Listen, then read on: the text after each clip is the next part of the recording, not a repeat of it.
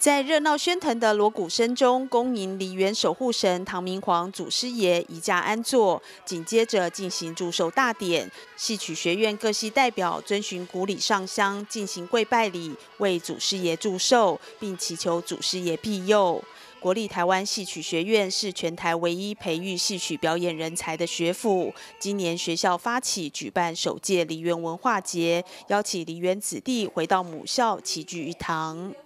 呃，这个我们说梨园文化节哈，其实呃有三个主要的人物，一个是梁月英梁老师，然后一个是我们王动员王团长，还有另外一个就是唐老师，唐老师，因为我们本来我们想三月三月十八号啊，那个啊祖师爷的生日，那我们本来想说只是庆祝一下，后来。唐老师灵机一动，认为说这个应该是一个很好的一个契机，然后呢，我们可以把所有的戏曲界的啊这些好朋友们、师兄师弟、师姐师妹，大家团结在一起，然后呢，我们用当时祖师爷在宫廷里面的乐舞的这样的一种啊形式来庆祝，那。于是呢，我们今天的整个的节目，我们安排有百戏，比如说杂技的部分，我们有京剧，我们有客家戏，我们有歌子戏，啊，这些的戏我们把它串在一起，啊，那我们呃就请我们学校的李文勋李老师，然后来扮演啊扮演那个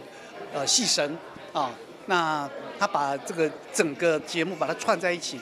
那我们希望说，这一次的活动只是一个开始，然后我们希望说，未来由呃众剧团们啊，或者是国光剧团啊，或者是唐老师的剧团啊，这些我们轮流来主办，大家共襄盛举，然后是把它当做一个我们梨园圈的一个啊大事大大事，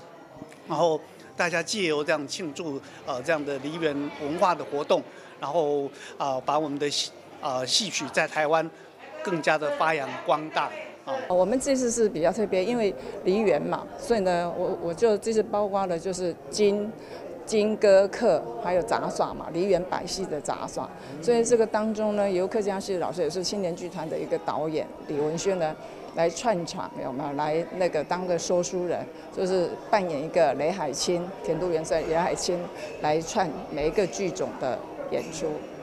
祝寿大典中，祖师爷换掉身上的蟒袍与王帽，穿上黄佩九龙冠，意味请祖师爷以轻松的居家服接受梨园子弟敬拜。而活动发起人之一的唐美云老师表示，身为梨园行的一份子，能够借由活动为祖师爷祝寿，觉得非常有意义。其实呢，呃，梨园子弟呢，我们供奉祖师爷，其实对于祖师爷的诞辰，对大家而言都是一个重要的日子。那呃，这个是很特别的，像这是首度的，呃，由戏曲学院他们发起举办的，呃，以梨园传统戏曲为主的一个文化节，今天是第一届。那在今天的第一届举办的过程当中呢，我们会看到很特别的，呃，它会有京剧。歌仔戏、综艺团、客家戏，呃，甚至于学校的青年团，还有唐美云歌仔戏团的青年团，呃，我们来做一个呃演出，就是呃拜寿。所以呢，呃，大家综合各种不同的传统戏曲的表演，我想也可以让一般民众，让他们可以借着这次的推广演出，让他们可以认识看到传统戏曲的一个多元的美，多元艺术的美。所以呢，我我就很鼓励他们，而且我也觉得应该要大力支持。呃，这是一个机会，可以首度开放让全民来参与，让他们走进艺文圈，而不再只是买票进剧场，而是在我们这么特别的祖师爷的诞辰的祝寿的这个过程当中，让观众朋友他们走进这个地方，让来他们共同参与。